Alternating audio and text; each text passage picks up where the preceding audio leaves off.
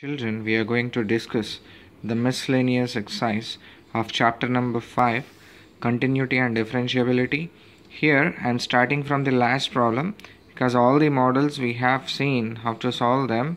Uh, let us do from last to first of this exercise. Uh, 23rd one if y is equal to e power a cos inverse x and minus 1 less than or equal to x less than or equal to 1 show that 1 minus x square into d square y by dx square minus x into dy by dx minus a square y equal to 0. First of all, y value is given as y is equal to e power a cos inverse x. And then we have to show this one.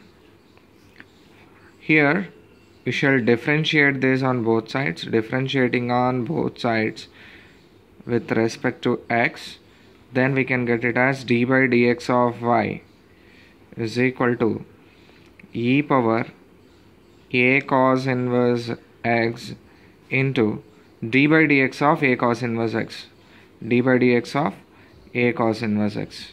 So this can be taken as uh, minus a by under root of 1 minus x square into e power a cos inverse x. Like this we can write.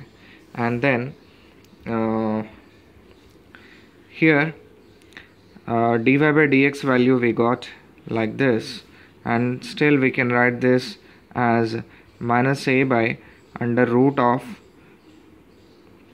1 minus x square into y as y value is given as e power a cos inverse x.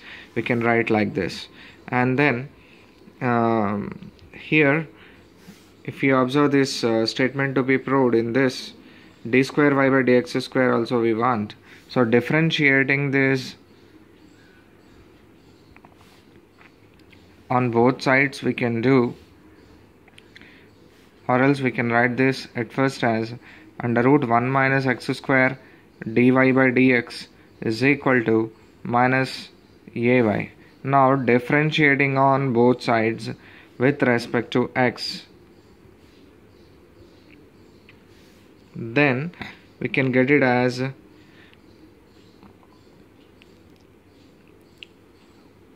root f of x derivative is 1 by 2 root f of x into derivative of f of x. Here internal function derivative is minus 2x and uh, into dy by dx plus under root of 1 minus x square into dy by dx derivative is d square y by dx square. That means what here it is in u into v form. We have uh, written that uv form u into um, u into v dash plus v into u dash like that. And this is equal to uh, here minus a into dy by dx we can write. And this can be taken as this can be taken as. Here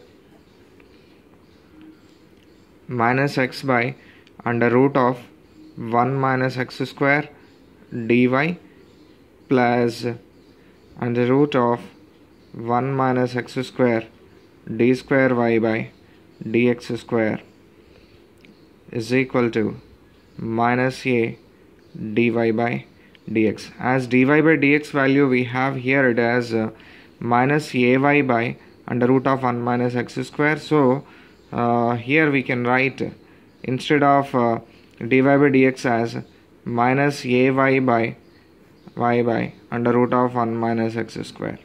As we have here the value of dy by dx. Here I'm using that one. Then multiplying on both sides with uh, under root of 1 minus x square we can get minus x dy plus 1 minus x square into d square y by dx square which is equal to um, a square y. And then this can be written as 1 minus x square into this uh, um, d square y by dx square minus x dy by dx minus a square y is equal to 0 hence proved. In this way we can solve this problem. Last one. Let us see some more uh, problems of this exercise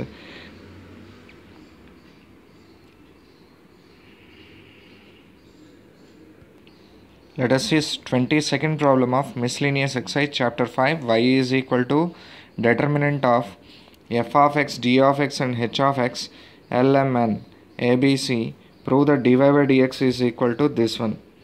Let us take this first. Y value is given as y is equal to determinant of this value. We can write determinant value of this one like uh, uh, f of x into uh, f of x into neglecting this corresponding row and column we have this uh, matrix determinant of that one can be mc minus b and like this we can evaluate the determinant of a given 3 by 3 matrix and then minus g of x into lc minus an plus h of x into neglecting this corresponding row and column we can have this. Determinant of this is cross multiplication is lb minus ma like this. And this is equal to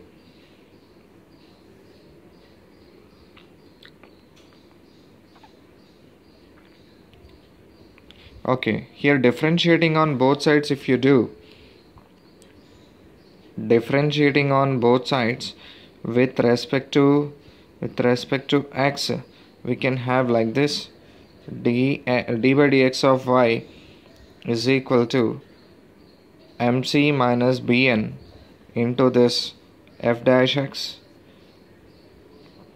And then minus lc minus an into this g dash of x plus lb minus ma into this h of x. So this can be taken as this can be taken as f dash x g dash x h dash x and here l m n a b c determinant. Hence proved hence proved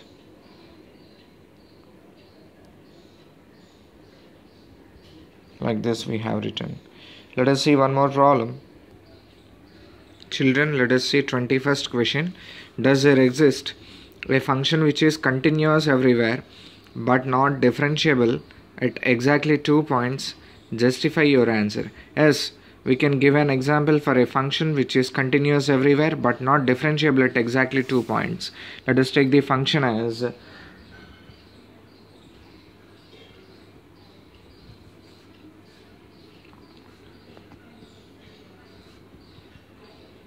yes we have the function.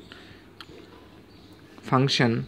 F of x is equal to mod x minus 1 plus mod x minus 2 which is continuous everywhere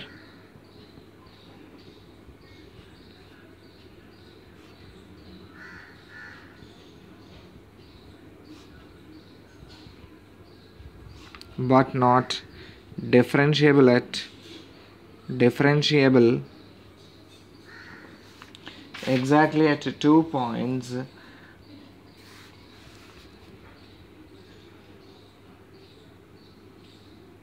Exactly at two points. Exactly at two points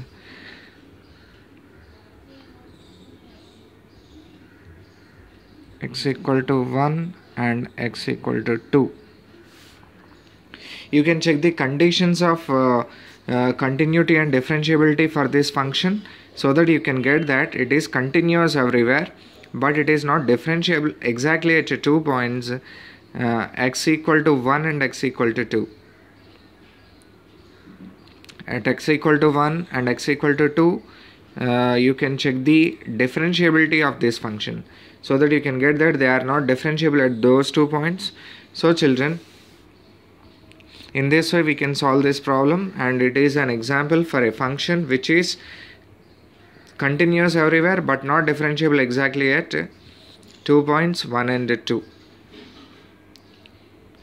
every modulus function is continuous in that sense I have taken this as an example. You can give so many examples for this kind of functions. For example if the question is like this the, is there any function which is continuous everywhere but not differentiable exactly at one point? Yes. We can take an example for the function like f of x is equal to modulus x minus 3 uh, it is a function modulus x minus 3 is a function which is continuous everywhere but not differentiable exactly at one point x equal to 3 similarly we can give so many examples. For example if we want to give a function which is continuous everywhere but not differentiable at 3 points then we can give example like this. Function is equal to modulus x minus 1 plus modulus x minus 2 plus modulus x minus 3 not only regarding this 1 2 3 we can give some other examples also. For example modulus x minus 2 plus modulus x minus 5 plus modulus x minus 7 here it is continuous everywhere but not differentiable at 3 points 2 5 and 7 like this we can give so many examples. And uh, for justifying this one we can check the conditions of continuity and differentiability for this given function. And one more thing is here we can rewrite the function to check the conditions.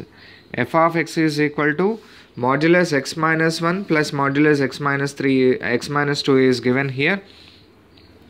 For example if x is less than 1 suppose x is less than 1 here then mod x minus 1 becomes mod x minus 1 becomes minus of x minus 1 and mod x minus 2 becomes minus of minus of x minus 2 whenever x is less than 1 then x minus 1 becomes negative. And x minus 2 also becomes negative. Modulus of some negative number means minus of that number. I have written minus of x minus 1 as well as minus of x minus 2 in this sense like this. And um, it is equal to suppose uh, x is greater than or equal to 1 and less than or equal to 2 what can be the function like? It can be like here uh, between 1 and 2 the function will be uh, see mod x minus 1 becomes mod x minus 1 becomes positive. So x minus 1 here and mod x minus 2 becomes x minus 2 becomes negative here so mod x minus 2 becomes minus of x minus 2 we can take.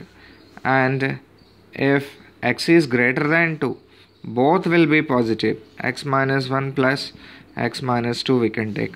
So we can rewrite this function in this way. Wherever you see some uh, modulus functions you have to redefine that function at first in this sense. Minus x minus x minus 2x plus 1 plus 2 plus 3 we can write. If x is less than 1 and uh, uh, x minus x cancel minus 1 plus 2 2 minus 1 is 1 we can write. If 1 is less than or equal to x less than or equal to 2 and then if uh, this one x is greater than 2 x plus x is 2x here minus 1 minus 2 minus 3 if x is greater than 2 now we have redefined this function and check the continuity uh, check the conditions for continuity and differentiability so that you can get that it is continuous everywhere but not differentiable at two points x equal to 1 and x equal to 2. Thank you. We shall do some other problems. Let us see question number 20 of miscellaneous exercise using the fact that sine of a plus b is equal to sine a cos b plus cos a sine b and the differentiation obtain the sum formula for cosines. First of all here the given thing is sine of a plus b sine of a plus b is equal to sine a cos b plus cos A sin B. And the differentiating differentiation differentiating on both sides with respect to x we shall do here so that d by dx of d by dx of sine of a plus b is equal to d by dx of sine a cos b plus d by dx of cos a sine b. So that here we can get it as cos of a plus b into d by dx of this a plus b is equal to derivative of sine a into cos b uv form. U into v dash. D by dx of cos b is minus sine b db by dx plus cos b into sine a derivative. Sine a derivative is cos a dA by dx and here plus d by dx of cos a sine b. d by dx of cos a sine b means uh, cos a into sine b derivative. Cos a into sine b derivative is cos b into db by dx we can write plus sine b into cos a derivative cos a derivative is minus sine a dA by dx so cos of cos of a plus b cos of a plus b into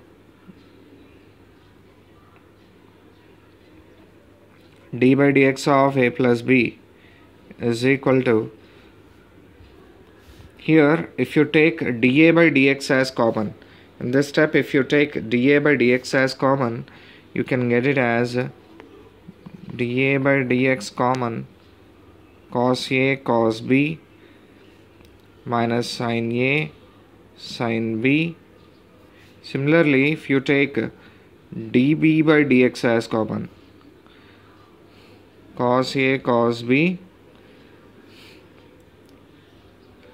minus sin A sin B.